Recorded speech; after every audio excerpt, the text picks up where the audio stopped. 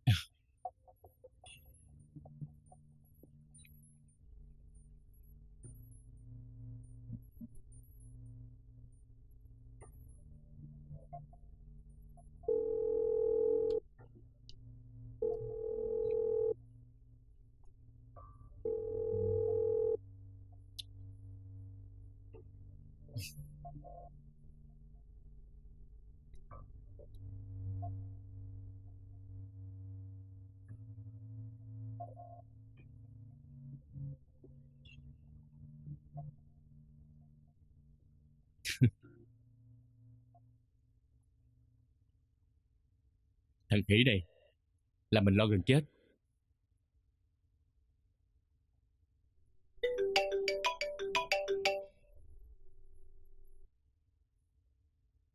Alo tôi nghe Alo, bác ăn thích đây. Dạ chào bác ăn thích Dạ sao ạ Bác có chuyện cần bàn với cháu. Bác có gì cần bàn với cháu ạ Đúng. Dạ dạ Vậy à, 20 phút nữa cháu sẽ tới Ờ, được. Dạ cháu chào bác Bác không dám làm phiền cháu. Nhưng có vài điều bác cần cháu giúp giùm. Không biết cháu có sẵn lòng không? Dạ Không biết là bác cần cháu giúp bác chuyện gì Bác cứ nói Nếu trong khả năng cháu hứa cháu sẽ làm hết mình Nhưng chắc cháu biết là Hương Giang, con gái của bác, Dạ cháu biết nó về làm dâu nhà bà Hương. Dạ Nhưng mà là chuyện gì Bộ chuyện đó có liên quan tới Hương Giang hả bác Gia Thành có thêm vợ mà không chịu ly dị với Hương Giang. Còn Hương Giang thì bác không hiểu vì lý do gì nó cứ ở đó không chịu về đây. Bác muốn đến thăm thì không gặp được nó. Bác không biết phải làm sao bây giờ. Cháu có thể nào giúp bác được không? Bác muốn cháu tới đó Xem tình hình như thế nào đúng không Bác chỉ muốn biết tình hình Hương Giang như thế nào. Lý do tại sao nó không ly dị? Có phải là nó đang bị Gia Thành khống chế hay không? Thật tâm, bác chỉ muốn biết. Muốn biết một vài điều là Cháu hiểu Cháu không dám hứa là cháu sẽ biết hết mọi chuyện Nhưng cháu sẽ đến tìm hiểu Và báo cho bác biết tình hình của Hương Giang Ừ. Nhưng có lẽ Bác phải đợi cháu vài ngày Vì sắp tới cháu có cuộc họp cổ đông Trình dự án mới chỉ cần một lời hứa của cháu bác an tâm rồi. Dạ Cháu sẽ cố gắng mà Ừ.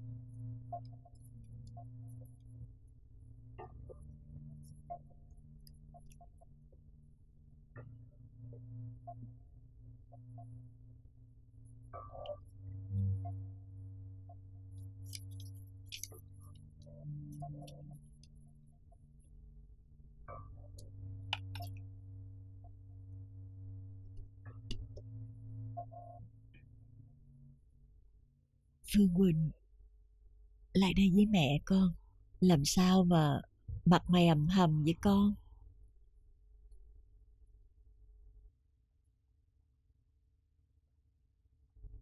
Mẹ thấy trong người sao rồi, khỏe hơn chưa? ừ. Mẹ đỡ rồi À Con về nói với dì Tú Mẹ kêu ngày mai dì Tú đưa Gia Lân đi Gia Linh chơi một chuyến Để nó ở nhà hoài Thần kinh riết rồi cũng có vấn đề Dạ. Mai con kêu cô Nguyệt vô đây cho mẹ Mẹ muốn làm công văn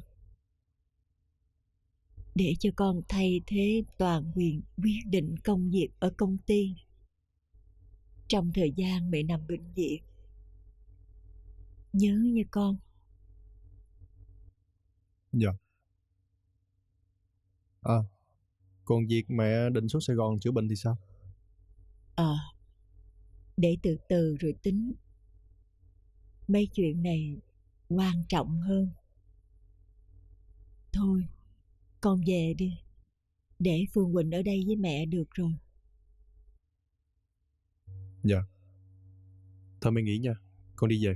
ừ.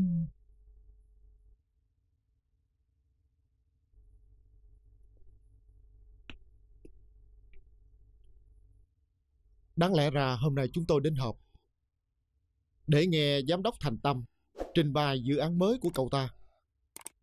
Nhưng hôm kia, tôi có nhận thêm dự án mới của ông Vĩnh Hoàng chuyển tới. Tôi nghĩ hay là chúng ta hãy nghe ông Vĩnh Hoàng trình bày trước. Sau đó tới giám đốc Tâm. Mọi người nghĩ sao? Ừ, Chúng tôi đó. đồng ý không, sao, đâu. Chúng tôi đồng ý. Ừ. Ý cậu thế nào? Ờm, tôi sao cũng được.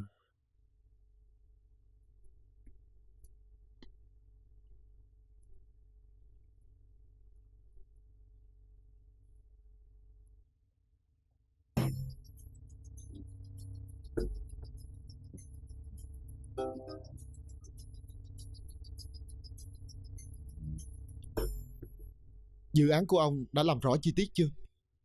Hay chỉ mới là tựa đề? Tôi đã trình bày chi tiết rất đầy đủ. Kể cả phần tính toán mức lãi suất của chúng ta tăng trưởng trong vòng 5 năm tới. Đây là kế hoạch của tôi.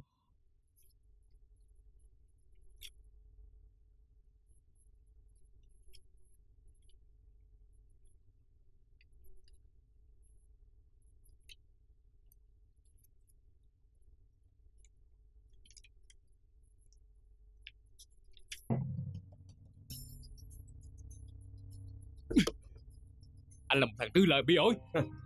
Anh bỏ ra bao nhiêu tiền để có được bản kế hoạch mà tôi dắt óc suy nghĩ trong 3 tháng trời? Anh nói đi. Giám đốc Tom, bình tĩnh lại. Chuyện đâu cũng còn có đó. Nếu anh trình bày, bọn tôi sẽ lắng nghe. Tôi có thể khẳng định với mọi người. Đây là bản vẽ của tôi. Bản kế hoạch chi tiết này cũng là của tôi. Vậy tại sao nó lọt vào tay của ông Vĩnh Hoàng? Tôi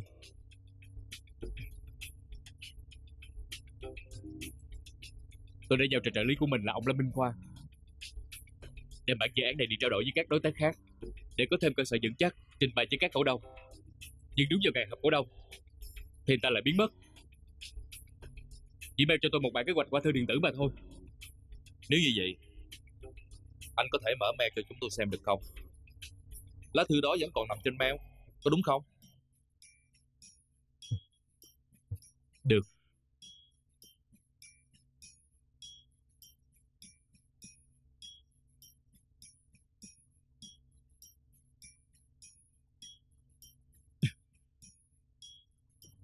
Tại sao là như vậy?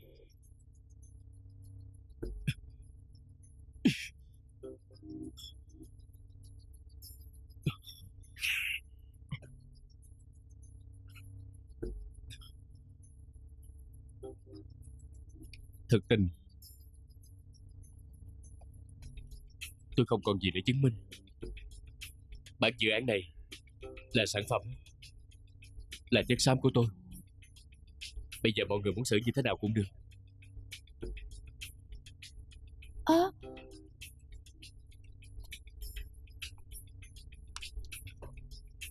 Ngày mai Tôi sẽ đưa đơn từ chức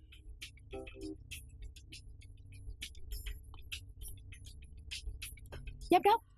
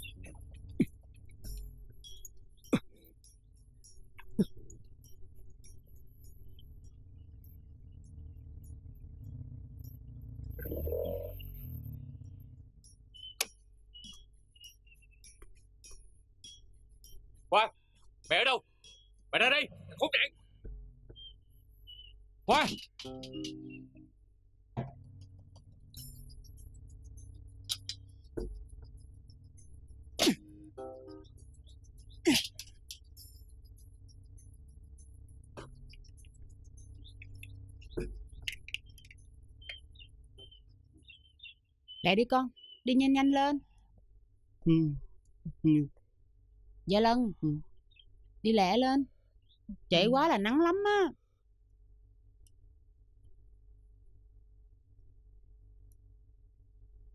Đi đi con.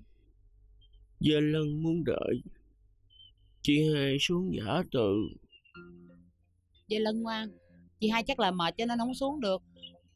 Gia Lân đi đi Mai dì Tú về Kể lại cho chị hai nghe nha. Đi đi con.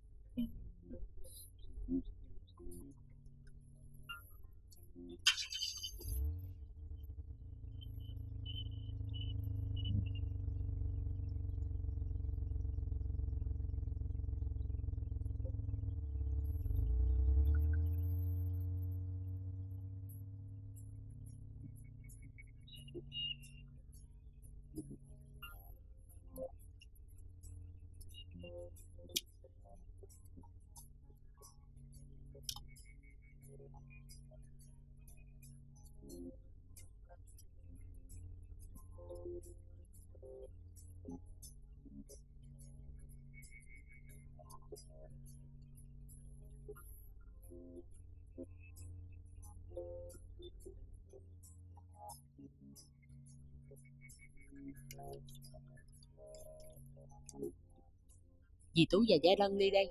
Chắc trong một thời gian dài Dì Tú sẽ không quay trở lại. Con ráng giữ gìn sức khỏe Và tìm cách rời khỏi nhà. Xem xong, xé tờ giấy này nhé. Nhớ xuống hầm, xem Gia Lân nó vẽ cái gì.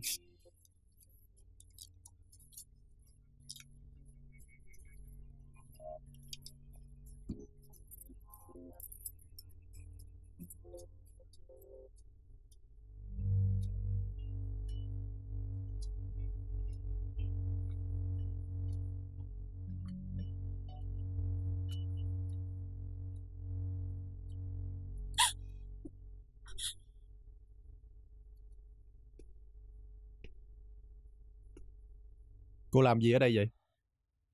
Tôi tìm Gia Lân Bộ không ai nói với cô biết là Gia Lân đi chơi với dì Tú rồi sao? Gia Lân đi rồi sao Gia Lân đi đâu Đi đâu anh có biết không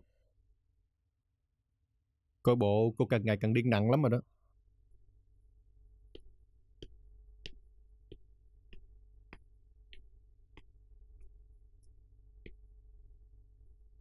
Ai Ai điên? Tôi mà điên á Còn lâu?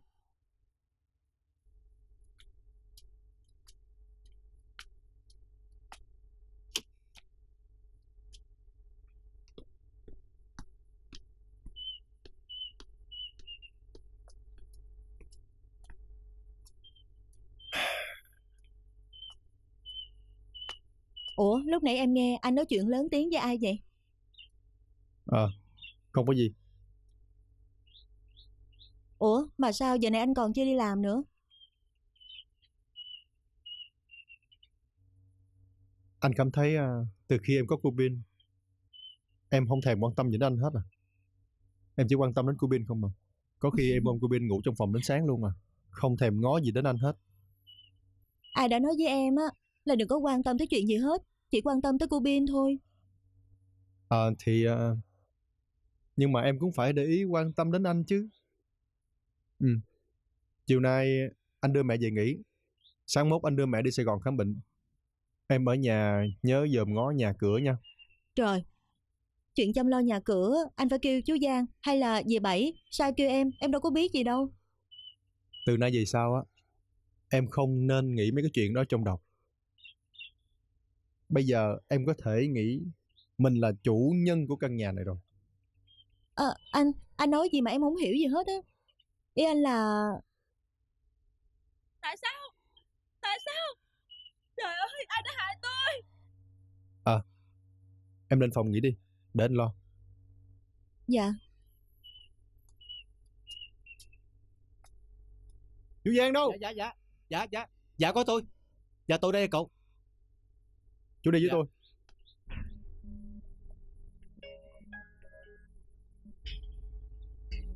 Tại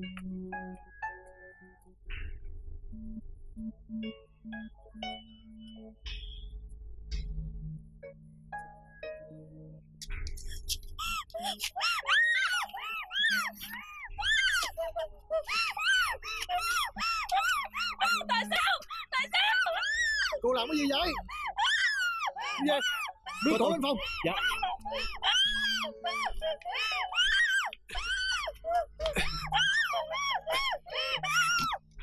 Không biết anh ấy sẽ làm gì chị Phương Trang Chị ấy thật đáng thương. Mình phải làm gì để giúp chị ấy đi?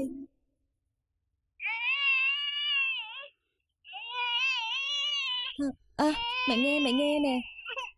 À, mầm mầm mầm mầm Mẹ thương à. Ừm. Mâm mâm nè. Ngoan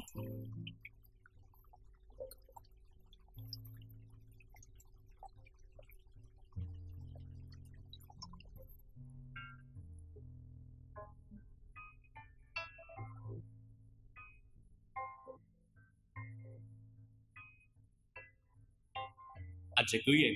Khi nào em trở lại là một cô gái ngoan ngoãn, Không đua đầu Không nhậu nhẹt, Không kiếm tiền bằng mồ hôi nước mắt, Bằng sức lực của kẻ khác. Không làm ăn gian xảo Em hãy chọn đi. Một là anh Hai là cách làm ăn bây giờ của em.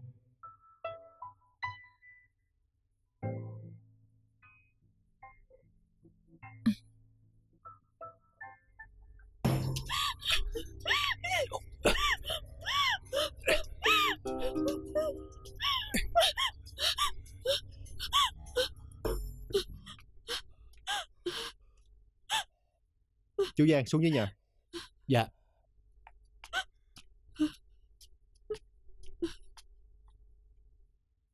Anh thấy tôi khổ sở. Điên cùng như vậy, anh đã vừa lòng chưa?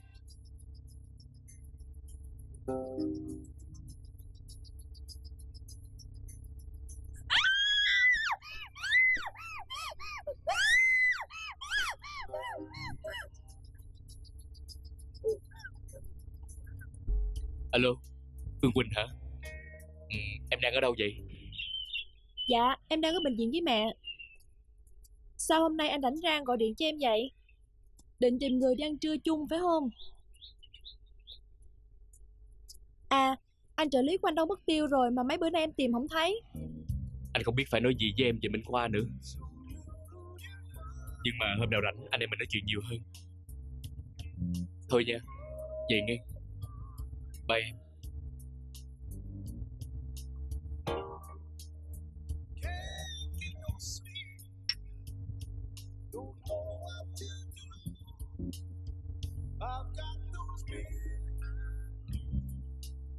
Anh hả? Em xin lỗi lúc nãy anh gọi. Em đang tắm em không có nghe. Anh đang ở đâu vậy? Anh buồn quá.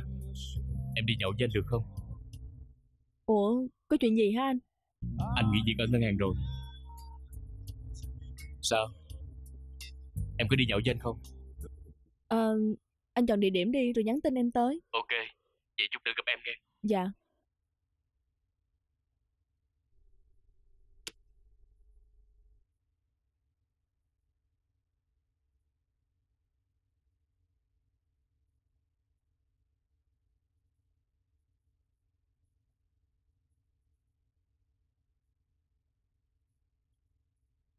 Vậy là mẹ quyết định cho anh Gia Lân lên ở dưới Quế Lan hả? Ừ. Mẹ thấy trong thời điểm này đưa Gia Lân đến đó ở là tốt nhất. Mẹ thì nằm bệnh viện. Hương Giang thì không được ổn. Nhà lại có em bé.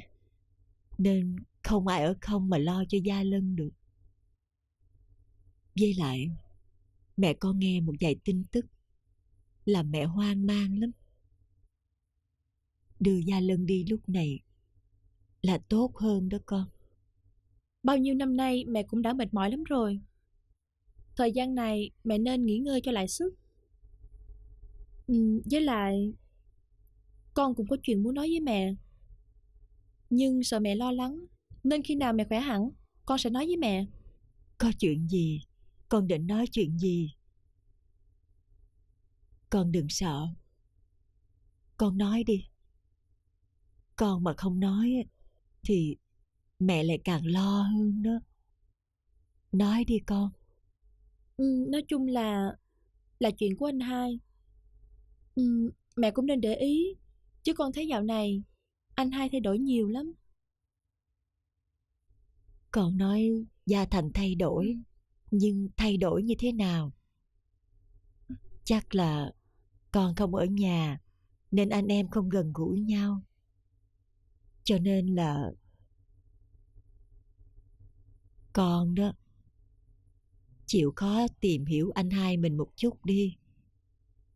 Đừng có xét nét quá.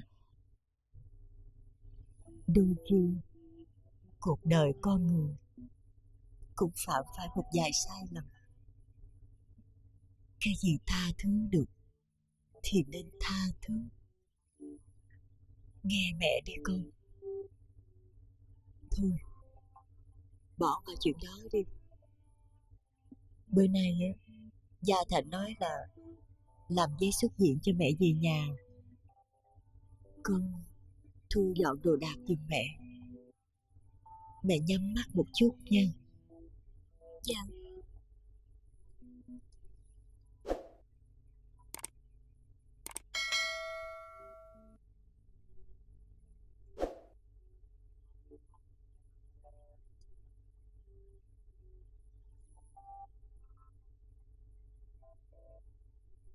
Máy bay ba máy bay hạ cánh. Alo?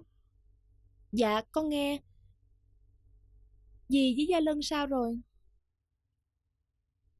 Sao? Dì gặp dì Chi? Dì Chi nhận ra gì hả?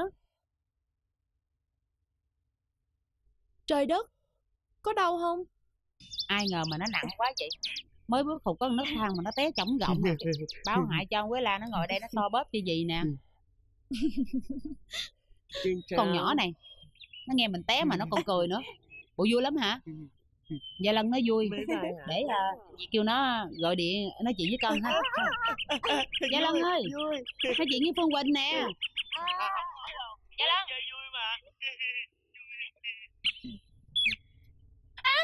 Gì á Trời ơi Cái con nhỏ này nó hẩu ghê gì á. Sao Dầu không mà cây mắt con á? Hả? Sao bóp cho gì cái tay dầu không mà đem chùi vô mắt. Thôi thôi Thôi thôi đi vô đưa tay đi. Đi đi.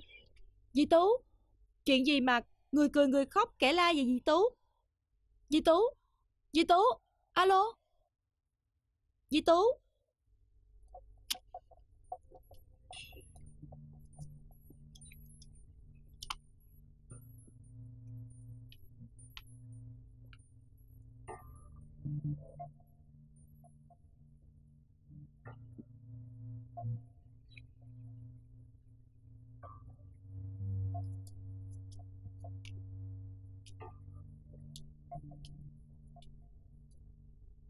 Cô ba ừ, Cô ba đang làm gì vậy? À, thì à, tôi nghe có tiếng động nên nhìn vậy thôi. Chị làm gì mà nhìn tôi như muốn ăn tươi nước sống vậy?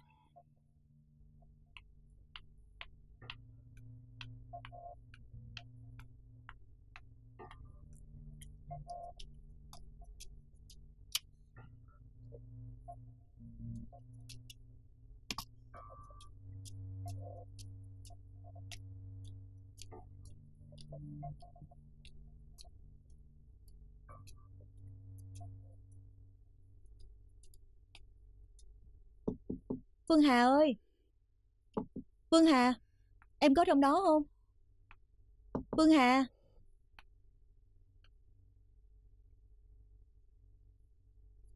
Hả? Cô làm tôi giật mình. Chị có làm gì sai không? Mà chị thấy tôi chị sợ vậy. Tôi có làm gì sai? Tôi chỉ qua phòng tìm Phương Hà thôi. Cô đừng có suy diễn lung tung Tôi chưa nói xong mà chị bỏ đi đâu. Tôi còn phải về phòng coi cô Bin nữa. Cô muốn nói gì thì nói đại đi. Tôi Chỉ là ngạc nhiên về thái độ lén lút của chị. Tôi muốn biết Mà sao chị phản ứng dữ vậy? Xin lỗi cô. Tôi có lấp lém hay không á Thì chưa biết. Nhưng tôi biết chắc chắn một điều là Cô đang theo dõi tôi thì phải Tôi mà theo dõi chị hả Chị đừng có tự cao Tôi nói thẳng cho chị biết Nếu không có đứa con trai làm lá bùa hộ mạng Thì chị đừng hòng bước vào căn nhà này Cô Cô dám nói những lời này trước mặt anh Thành không Tôi sợ gì mà không dám nói Chị nghĩ coi chị là ai Một ngày gần đây thôi. Gia Thành sẽ cho chị ra ngoài đường. Lúc đó chị mới biết đá biết vàng như thế nào. Cô... Ủa, hai chị tìm em hả? chị thì không tìm em. Nhưng mà chị dâu tìm em đó.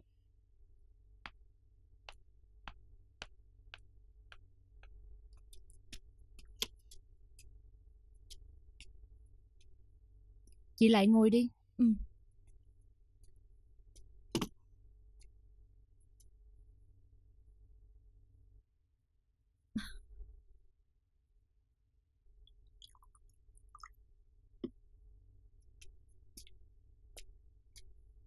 Chị uống nước đi. Cảm ơn em.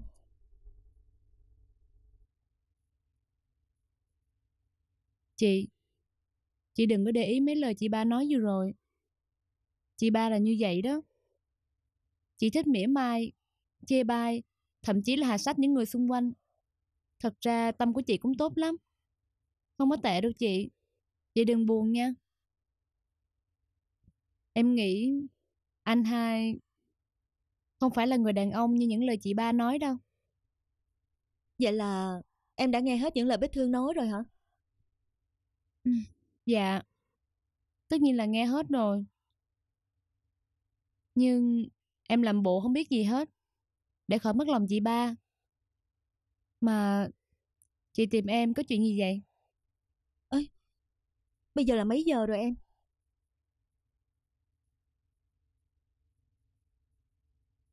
Năm giờ rồi chị. Chị có chuyện quan trọng cần bàn với em. Nhưng mà bây giờ thì trễ quá rồi. Chị còn phải về lo cho cô Bin nữa. Để dì Bảy còn xuống dưới bếp làm mà. Mai đi, chị sẽ nói cho em nghe. Thôi, ừ, chị về phòng nha. Dạ.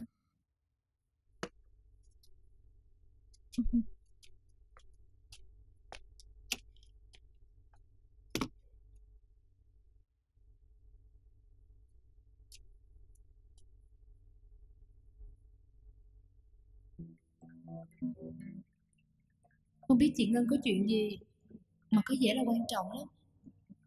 Mình lo lắng quá. Chắc chuyện đó có liên quan tới anh hai. Lạy trời cho gia đình mình được bình yên. Mẹ cẩn thận đó.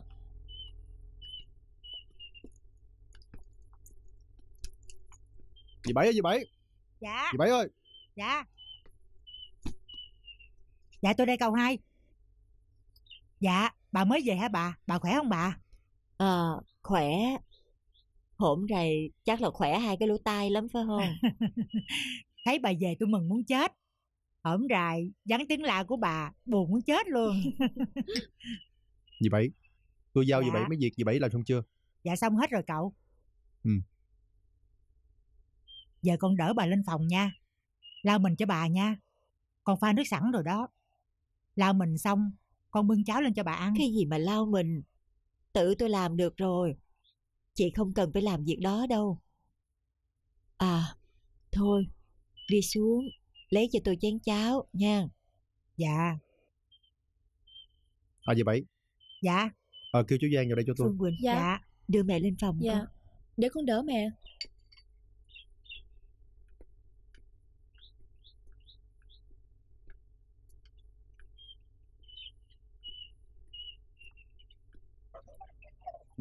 Uống đi em Vô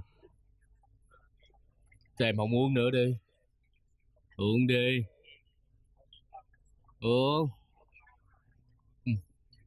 Ừ. Em không hiểu tại sao á. Cả tiếng đồng hồ anh bắt em ngồi nhìn anh uống rượu như vậy. Có chuyện gì á thì anh nói ra đi. Để em còn chia sẻ nữa.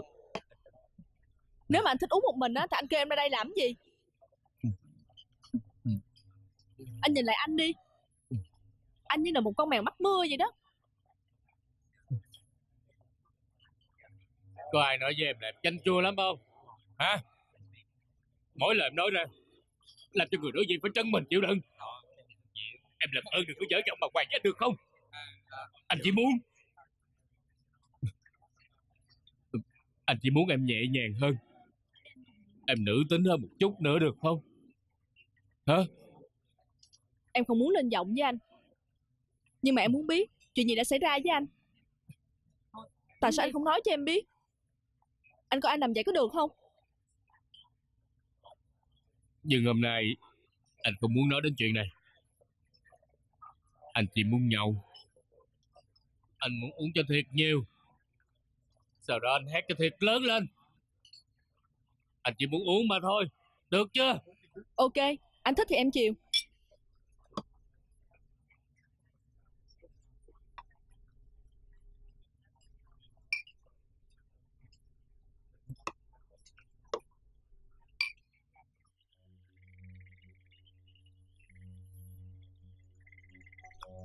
Dĩ nhiên là tôi với ông chứ ai. Nè Ông lập bản kế hoạch. Viết thật chi tiết Và kỹ lưỡng. Uhm, Tôi với ông xuống Sài Gòn Gặp gỡ một số đối tác Bàn bạc tiền đầu tư. Nếu thấy khả thi Ông làm luôn bản trên một dự án. Tổng chi phí sẽ là bao nhiêu Khoảng bao nhiêu lâu sẽ lấy lại vốn Cũng như phần lãi suất của chúng ta.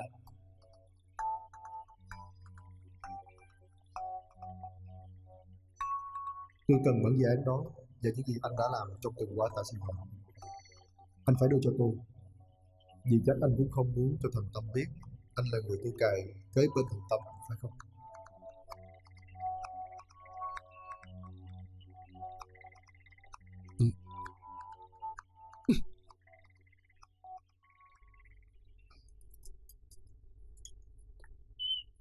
Con mời mẹ. Ngân à, dì Tú không có nhà, con chịu cực dài bữa nha vợ Thành. Dạ.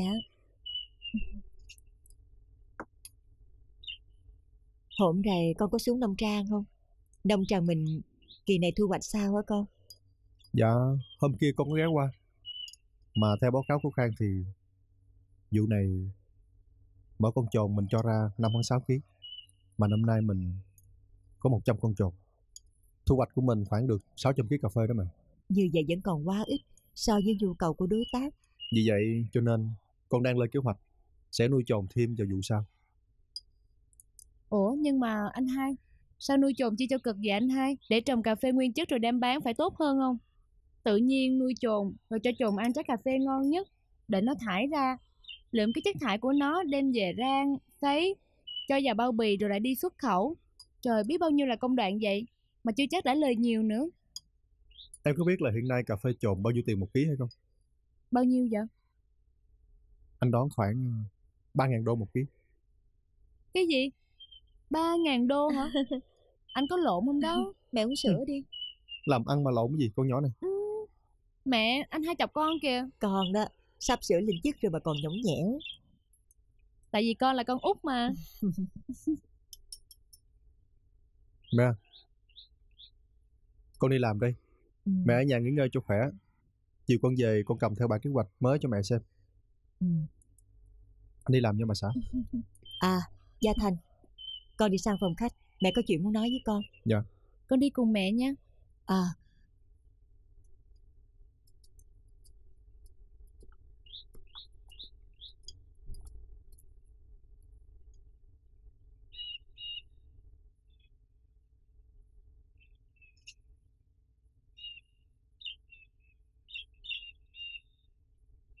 Đây là thuốc của chị thường uống nè.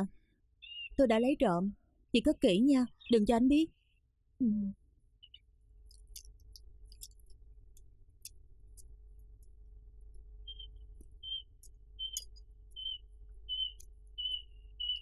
Ủa hai bà đang sáng hả?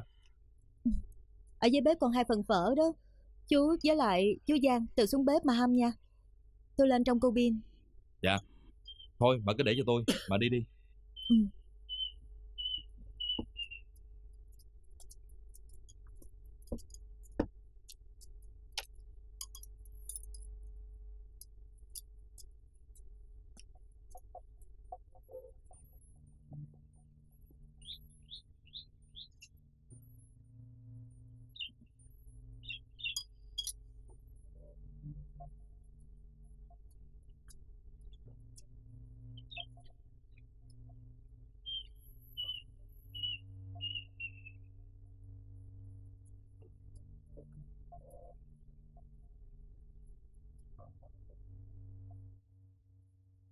Lẽ ra thì con không cho ba xem cái này Nhưng mà tại vì ba ép con Ừ. Ba xem xong sẽ hiểu lý do tại sao mà con không ly dị với Hương Giang. Có gì thắc mắc, ba cứ điện thoại cho con. Ừ. Con xin phép ba. À, Ừ. nghe nói là dạo này tim của ba không được khỏe. Con khuyên ba nên uống thuốc trước khi mở cái bao thư này ra xem. Chào ba.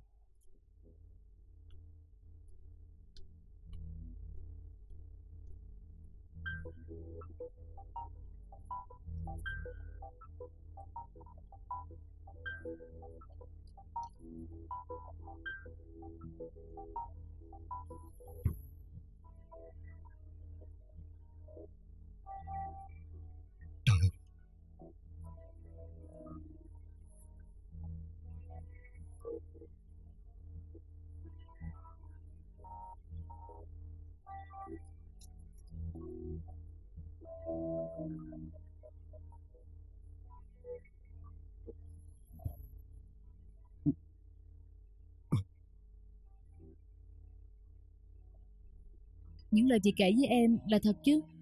Nếu như chị có nửa lời gian dối, Thì chị thề. Thật ra, Lâu nay Em đã nghi ngờ. Nhưng Em không thể tin anh ấy là một con người như vậy. Chuyện này Em nghĩ Mình nên báo cho chị Tư biết. À Mà chị có đem cái đĩa qua đây không? Ừ. Chị đưa đây, Để em sang vào máy. Rồi còn cái đĩa này Chị trả lại chỗ cũ Để anh khỏi nghi ngờ. Ừ. Sau khi chép xong Em và chị sẽ đưa cho chị Tư.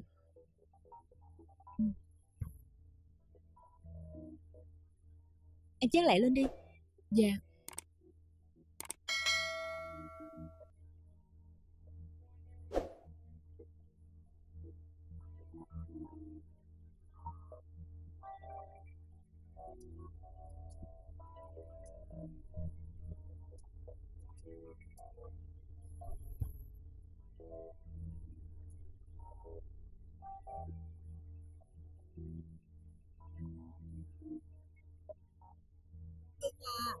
Ừ. Sao vậy? Nhanh lên nhanh lên. Chết. Nhanh lên em.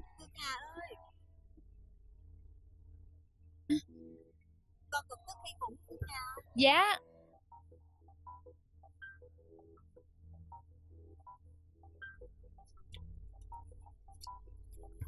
Dạ con thức Mẹ đợi con một chút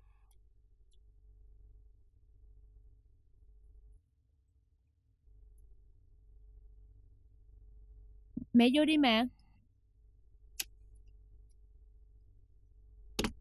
Mẹ qua phòng cô Bin mà thấy cửa khóa. Con qua đây từ hồi nào vậy? Ôi, ôi trời trời ôi, bà nội Dạ, thương, bà nội thương, Ngân bà cô nội Bin thương qua đây từ nãy tới giờ rồi mẹ. Bà nội thương. À, à vậy sao? Ô ô ô, bà nội thương. Trường cô Bin quá. Mẹ Sao hôm nay thấy mẹ vui quá Mẹ thấy trong người khỏe hẳn chưa À, mẹ khỏe rồi. Bao nhiêu ưu phiền lo lắng. Bây giờ đã gỡ được rồi. Lòng mẹ thanh thản lắm. Mẹ Con À ừm, Mà thôi Không có chuyện gì À, không có gì thì thôi. À, à. À. À, mà sao mà lúc này mẹ thèm chén chè đậu xanh quá.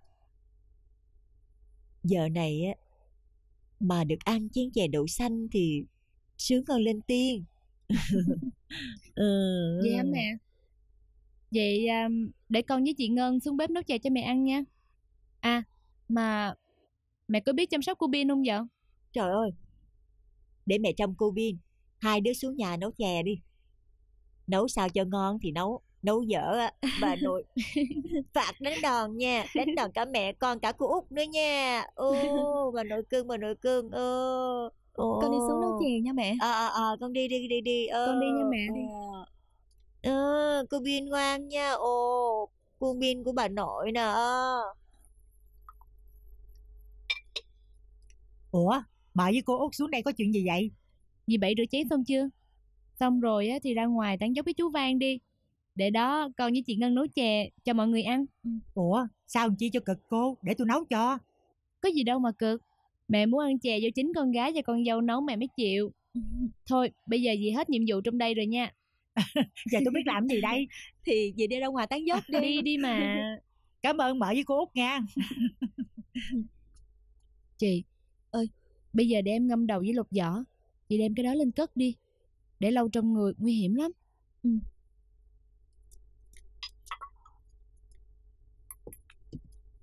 Hay là em thử gọi cho Phương Quỳnh coi.